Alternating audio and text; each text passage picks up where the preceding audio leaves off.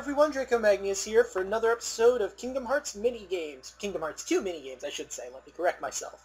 We're here in Twilight Town to struggle! Yes, the struggles have unlocked. We have, I think, three of them we can do. Struggle Battle R is now open. You can register at the battle board there.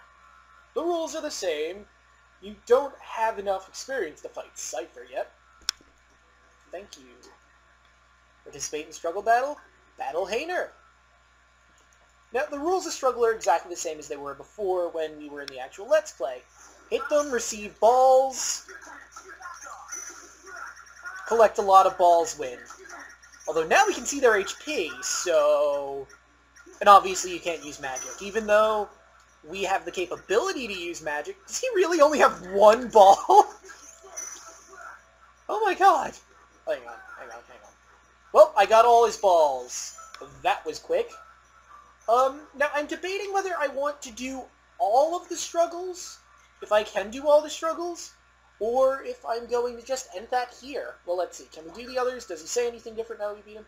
Struggle Battles R is open. Battle Board. Can't fight Seifer yet. No, only only Hayner. Okay, we're going to check something else while I still have you guys on camera. Twilight Town, missions, do, do, do, do, do, Struggle Hayner, win by a margin of 100, then comes Setzer and Seifer. Okay, Setzer's second.